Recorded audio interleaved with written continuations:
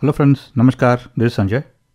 Welcome to the 20th video in this series and the title of this video is Alternative Conceptions of Learning in Children, Understanding Children's Errors as Significant Steps in the Learning Process. This happens to be the 20th topic in the CTET CDP syllabus. As usual, all videos on our channel including this are available in both English and Hindi versions. Before we begin, let me just clarify that in some preparatory books, websites and videos, this topic has been misunderstood as alternative concepts. Alternative concepts can be about different types of learning theories or teaching theories or teaching methodologies. And we have already discussed about that in some of the previous videos and we will also touch upon them in some of the upcoming videos. So this specific topic is about alternative conceptions and alternative concepts and alternative conceptions are two different things. This is also clarified in the syllabus, which clearly states alternative conceptions of learning in children and understanding children's errors as a significant steps in the learning process. Now, children's errors are connected to alternative conceptions and not concepts. So in this video, we'll talk about what are alternative conceptions and their different types and what are their implications we'll see how errors are connected with alternative conceptions and how can we deal with them in the classroom.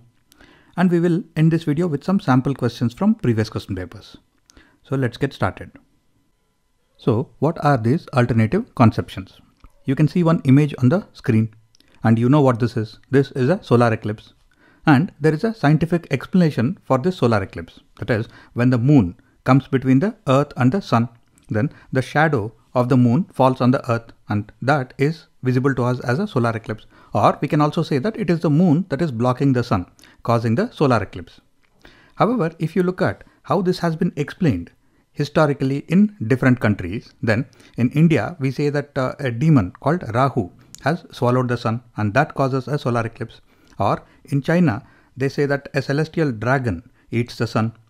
Or in Vietnam they say that a giant frog swallows the sun Whereas in Korea, they say that uh, there are some dogs in the sky which are stealing the sun and causing the solar eclipse. Whereas in the Nordic countries, they say that a wolf ate the sun. So there is a scientific explanation for this phenomenon. And there are several alternative conceptions for the same phenomenon. And if these alternative conceptions are factually incorrect, then they are called as misconceptions. So the definition of alternative conceptions is that uh, they are ideas that are used to explain various concepts and phenomena and that these uh, alternative conceptions do not match the scientific explanation of such concepts and phenomena. Alternative conceptions are nothing but imaginative efforts used to describe and explain the world around us, especially when there is no scientific explanation available for them.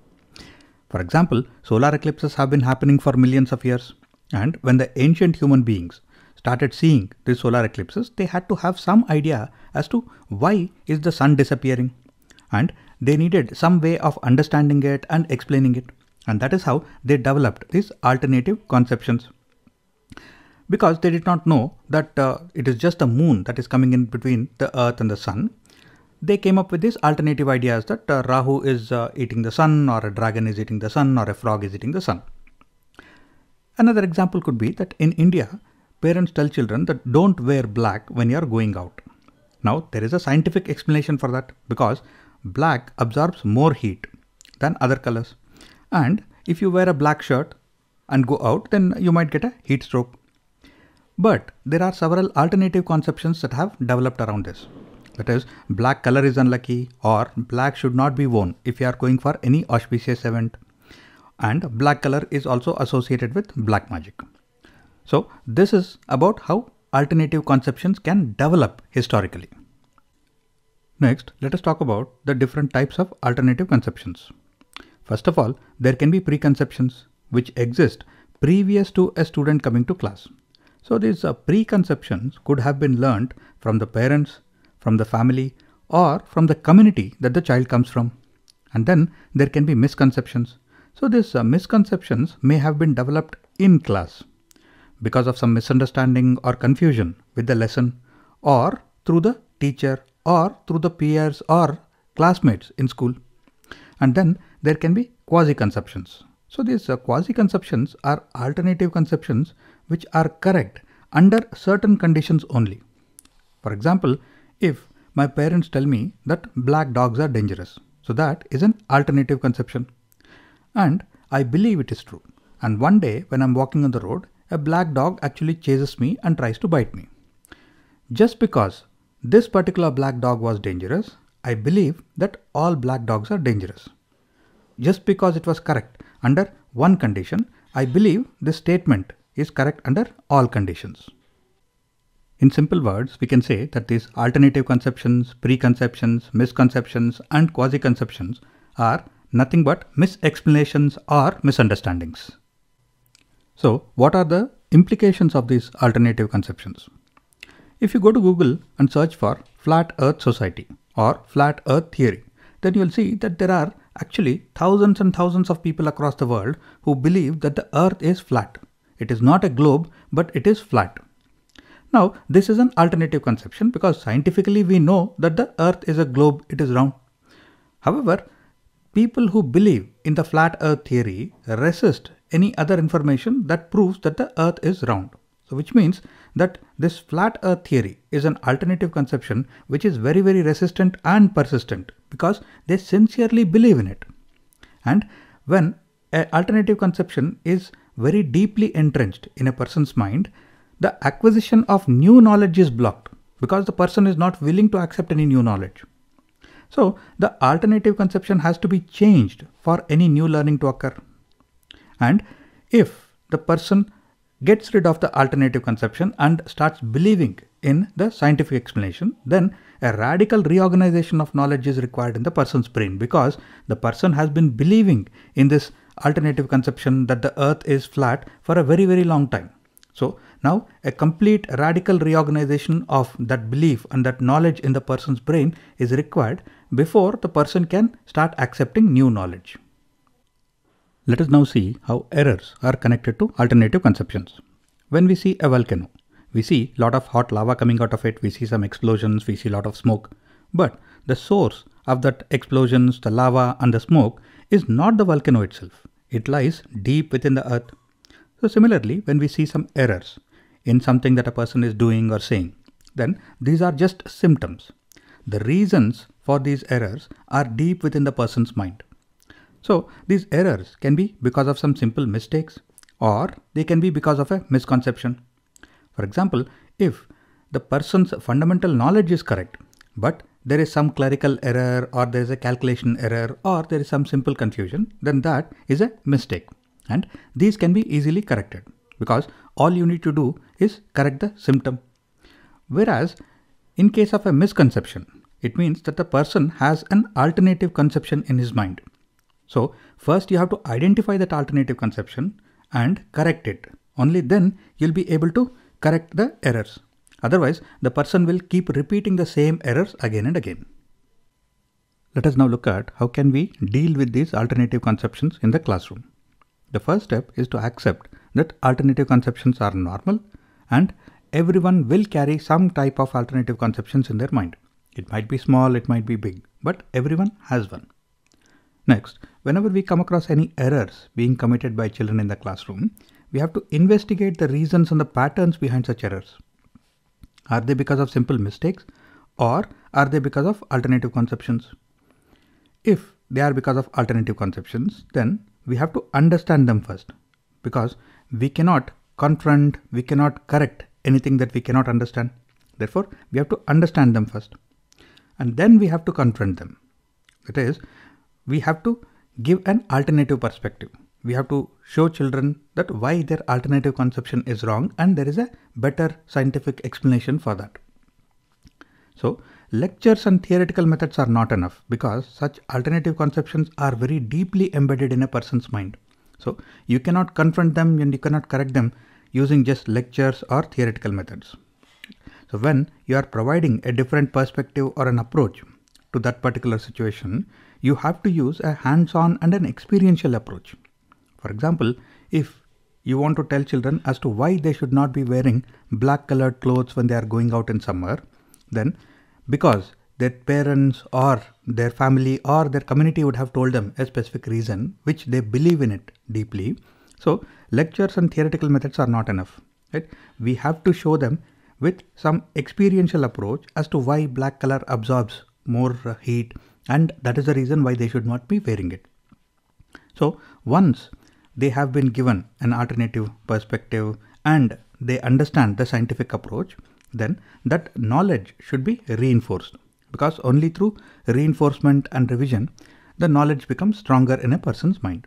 So these are the basic steps in dealing with alternative conceptions, preconceptions or misconceptions in the classroom. Next, let us solve some sample questions from previous question papers. The first question is, children often develop alternative conceptions and misconceptions about various concepts. Which of the following statements is not correct in this context? Alternative conceptions and misconceptions formed by the students should be highly discouraged by the teacher. This statement is incorrect because children learn these uh, alternative conceptions or misconceptions by developing it themselves or they learn it from their parents, their family or their community. So as a teacher, you cannot discourage them.